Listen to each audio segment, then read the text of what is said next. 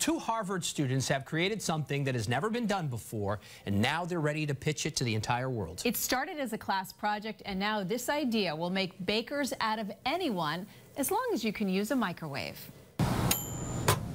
John McCallum and Brooke Nowakowski are cooking up a quick treat. It really looks exactly like a you know fresh baked cake. I'm gonna prepare a cake before you can skip this ad. It's a creation that is as unique as its advertising campaign.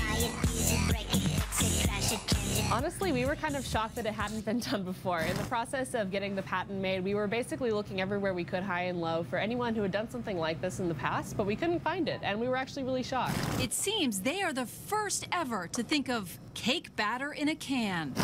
Spray cake is essentially cake batter in a whipped cream style can. Um, you can spray it out. Spray it, it comes out pre-risen, so it bakes in less time. It's microwavable. It bakes more consistently than traditional cake batter. Spray the batter, pop in the microwave, and 60 seconds later, got that nice sort of fluffy uh, texture to it, and it tastes just like cake. Please help yourself. That's really good. it's good. Even better, spray cake started in John's class at Harvard. I had a final project I needed to do for the class. And our group wanted an excuse to eat a lot of delicious cake while working on this uh, final project. And so that's basically where I came up with the idea for spray cake. From class project to top prize at the Harvard Innovation Challenge, then winner of the Ad Club's Branding Challenge for Nail Communications, when they hatched this as a way to sell the product. You can celebrate the future. Now, this hit at Harvard is hopefully headed to store shelves and giving these students an education they never expected. I mean, it was definitely kind of surprising. It was one of those things where I took the class, it was a gen ed, you know, it was just kind of a fun way to get one of my science requirements, I thought, and you know, eat some during lab. But it turned out to actually be a really informative class, and now it's turned into a business. So I've got to say, I of love the liberal arts thing.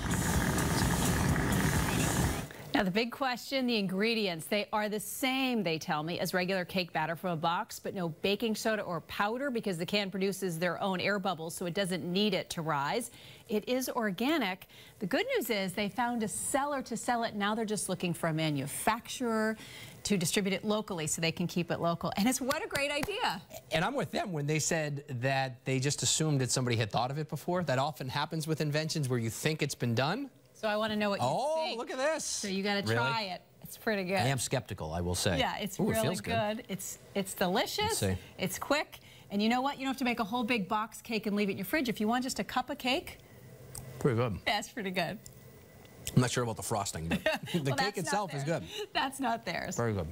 Can All you right. take the next one?